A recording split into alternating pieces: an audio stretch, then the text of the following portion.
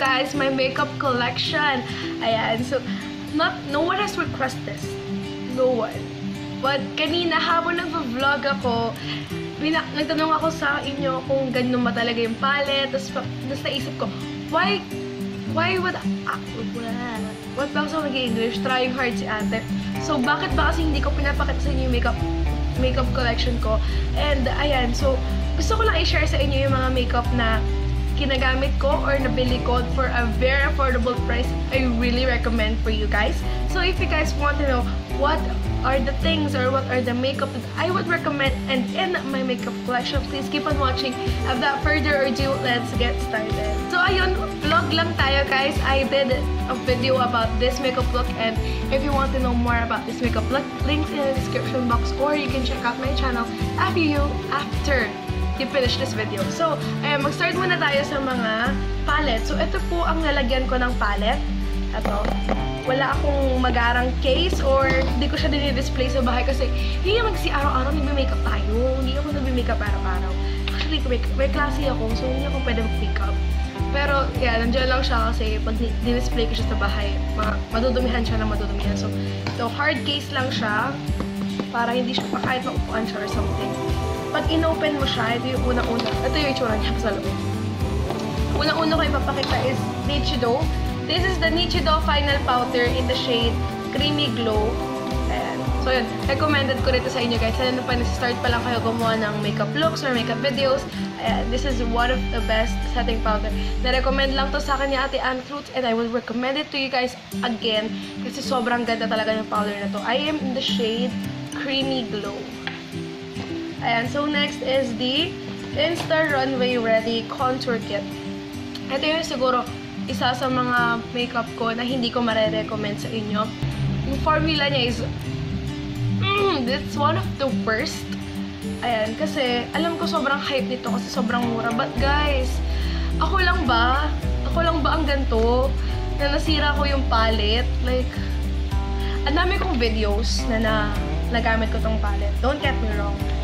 I think it's great. Pero if you would like use it for everyday, tapos araw-araw mo talaga siyang ginagamit, nasira talaga siya guys. Ano na, um, nasa bag lang to, hindi to lang to sa hard case ko. Nasira siya, I have no idea bakit siya nasira. But ayan yung highlight, ito yung bronzer. I don't know why, pero nasira siya. So I wouldn't recommend it to you guys kung gusto niyo talaga yung something na magagamit for every single day. And I think the formula is too soft para magamit siya for every single day. So next is I have this Fashion 21 color bar. This is a number 2. Ata to, 2 or something. Basta ito yung earth colors. Ayan. Or an earth tones siya. So, totally recommendable. Just keep it in mind na medyo ano to, medyo sparkly, sparkly yung color niya. This is, this has an overspray sa ibabaw. Kaya medyo pag tininom siya, ay, glittery. No, it's not. Overspray lang siya. Pag ginamit ko siya, it's matte. Just like my eye look today. Ito ginamit ko sa eye look ko. So, so next is I have an Ashley Color Eyelash. This is an eyelash from Ashley. Actually, recommendable ko to. Kasi sobrang mura niya lang. And ang ganda ng style. Oh, sorry, ba't ko ba kasi binuksan? Kasi nag-glare. And ganyan yung style niya. This is in 114. So next is I have the Balm Cosmetics, the Bahama Mama 3-in-1. And ito yung ginagamit kong bronzer as of now, tsaka highlight. Ito itsura niya. So, this I use for bronzer, and this is for contour, and this is for the highlight that I use today. So next is I have the Ever Belena Ever Belena pink eyeshadow palette. At ang ganda ng palette to guys. Ito yung ginamit ko sa inner corner ko, tsaka dun sa, dun sa loob. Yun yung ginamit ko and sobrang ganda dito. So, ayun. So, next, meron pa ako isa pang Fashion 21 na palette. This is the Fashion 21 Color Bar. Ayun yung itsura niya. This is, ito yung palette na ginamit ko para sa blush ko today dahil meron siyang, ito siyang dalawang color na pang blush. So, ito, hindi ko gets bakit may blue dyan. Kasi, guys, blue. Tapos, konti lang yung brown. So, hindi ko talaga gets paano gagamitin tong palette na to. But this is how it looks like. Ginagamit ko siya pag kailangan ko lang specific na ganyung kulay. For example, itong coral. But, ayan, more ay ginagamit ko siya more sa blush. Elf palette. This is the Elf Matte for Matte palette. The original Matte for Matte. Ito yung pinakamahal kong um, ito. So, yan. So, itong Mad, Elf Mad for Matte palette. This retails for 560. So, ito yung pinakamahal kong palette.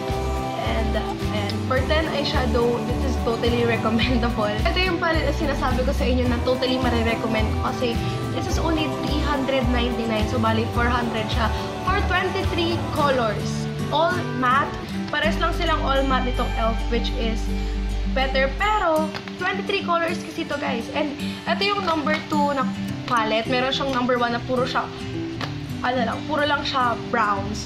So, if you would like something na puro brown lang, tapos 23 and 400 pesos lang guys, bet ko na to. Meron siyang mga brown, pero konti lang kasi, 4 colors lang yung brown niya. And, ayun, so, So, next, the last three palettes that I have are atong original palette ko. This is the Caroline Eyeshadow 12 Shades.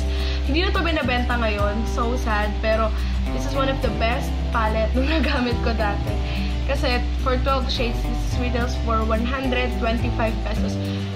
And sobrang pigmented ng shade niya. Nasira ko na siya. So, ayun. Sana binibenta pa nila to. Caroline, kung nakikinig ko, please ibenta niyo ulit to kasi sobrang ganda ng palette to. I would totally recommend it to you guys kung binibenta pa kasi wala eh. So, next is, atong LOL. Atong LOL Cosmetics, ang problem lang dito is sobrang soft, sobrang lambot ng formula niya na nasisira agad yung eyeshadow. Ayan. Nakikita niyo ba yung gray? Ayan, nakatape siya dahil nasisira yung eyeshadow at bumubukas siya dun sa case and nagkakalat sa lahat ng palettes ko. So, nakatape siya pag ginagamit ko. Tapos, tatanggalin ko. Tapos, pag ginamit ko na, napabalik yung tape. So, maganda to but I wouldn't recommend it kung parang ano kayo, traveler kayo kasi masisira to sa makeup bag nyo. Trust me. Palette that I have is this is the Shawel Makeup Fantasy 5 eyeshadow in the shade 004. Ito yung may browns pa din. I'm more on browns talaga. Pero isa lang yung palette ko na may kulay, which is the Nika So ito, meron siyang brown tsaka green. So, um, pwede na. Ito yung palette na medyo mahal. This retails for 220 pesos. Tapos, pwede na siya. Pagtsatsagaan, pero hindi siya best. So, ayun yung mga palette ko. So, next is papakita ko naman yung mga um, foundations, eyeliners, pencils, tapos, ayun. Basta lahat ng di naka-palette, papakita ko sa inyo. So, yung hindi ko mga palette is nakalagay lang sa pouch na to. Dati, ito lang lahat, lahat ng makeup ko. As in, cash na dito lahat. But kayo, hindi na talaga. So, dito na lang yung mga hindi ko palette. I mean, tama, hindi ko palette. So, yung first ko ipapakita is foundation. Kasi mga foundation Ito, I have two foundations right now. Ito, pares tong may review sa channel ko. So, ililink ko yung um, video niya down below in the description box or dito sa card dito sa taas or here. So, check that out after this video. This is the Detail Makeover Liquid Foundation and the, the Maybelline Matte Plus Poreless Foundation. So, please check out my video. So, next is, wala akong concealer kasi nawala yung concealer ko. Natigi isang concealer lang yun. So, ang next ko ipapakita is mascaras. So, I have four mascaras right here, guys. So, dalawa dito, tuyo na siya. Tapos, dalawa is pwede pang gamitin. Atong dalawa yung tuyo. This is the Maybelline Mask Hyper Curl Volume Express Mascara. Hindi ko pa siya dito tinatapon kasi hindi wala pa akong binibiling kapalit. Tapos, itong Max Factor Velvet Volume False Lash Effect Mascara. Ito tuyo na rito, pero ginagamit ko siya pang ano ng kilay ko.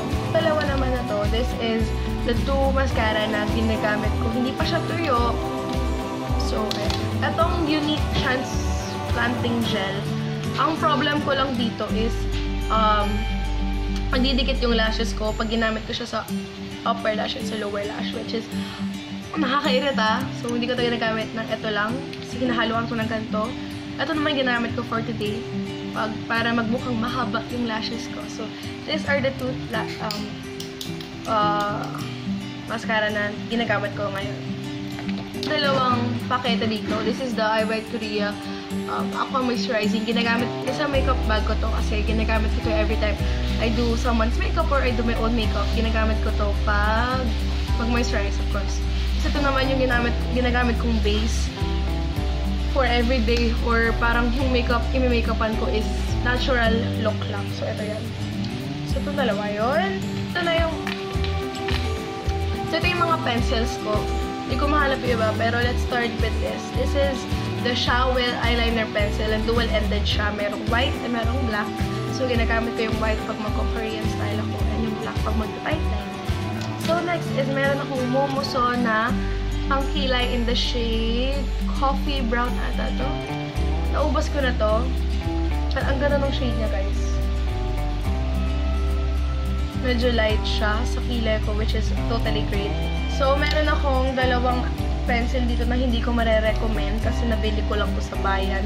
Andito lang siya, hindi ko alam bakit, kasi hindi naman akin to. Naiwan lang sa akin pinakaklase ko. And I have no right to throw it away. So, ayan. Ito siya. Black siya. Pares black. Ginagamit niya kasi ito pang kilay. Kasi ma mas strip niya yung dark eyebrows. So, yan yung kulay niya.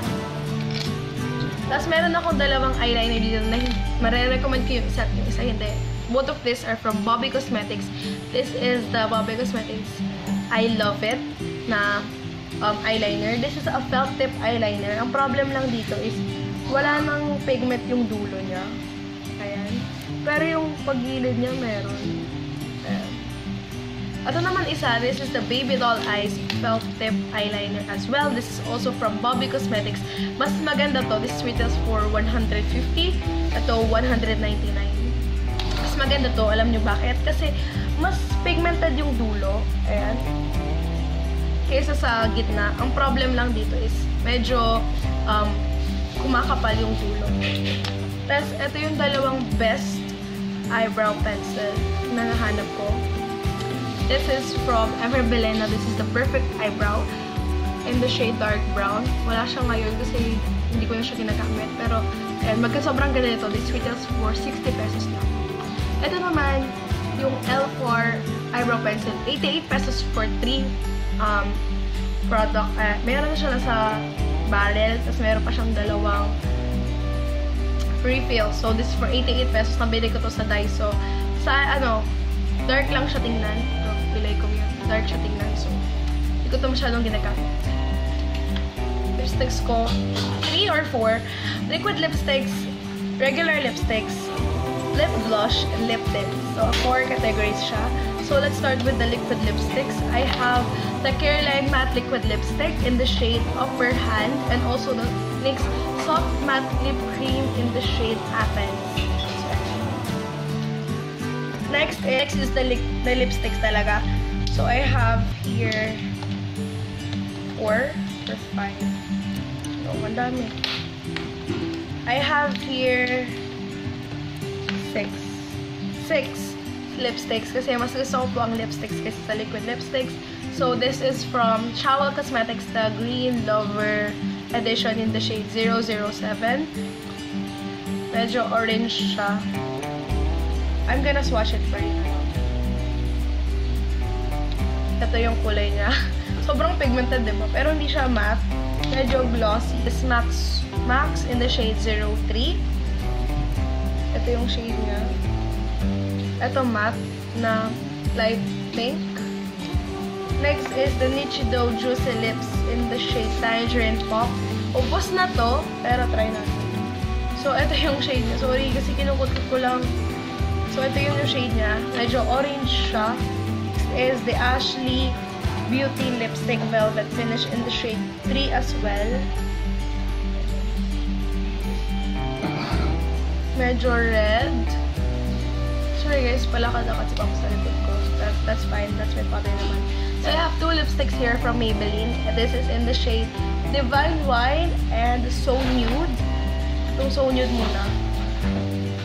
Itong So Nude Gloss. Actually, ang ganda ng color niya. Ano na nga lang siya, glossy. Tapos, itong Divine Wine. Ito yung favorite kong lipstick. mapapansin nyo, more on reds and ano, reds and oranges. So, I have two lip crayons here. So, ayun, meron pa pala isang category, lip crayons. This is lip lip crayons from Ashley. And para sila ng style. So, ito yung first shade.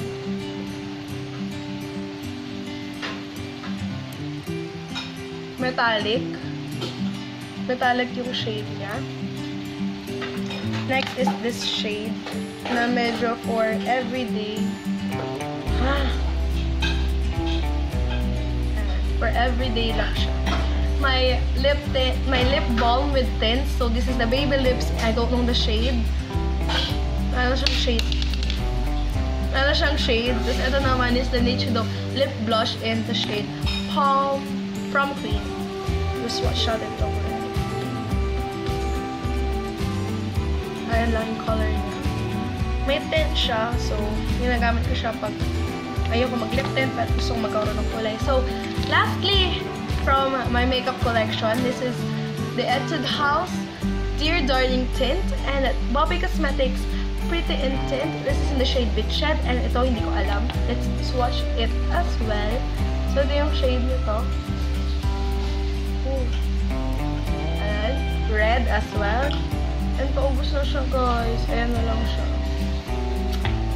Ito namang Bit Shed is medyo orange. Hope you guys enjoyed this video. Give it a big thumbs up if you did. So, subscribe down to my channel, Iris Maseda, and don't forget to watch my review of these two products. These are the foundation, sana magustuhan niyo yung review, and it will be in the description box as well as my social media platform. Please follow me on Instagram, Twitter, and add me on Facebook. It will be also in the, eh, also in the description box. So, see you guys in the next video. Bye!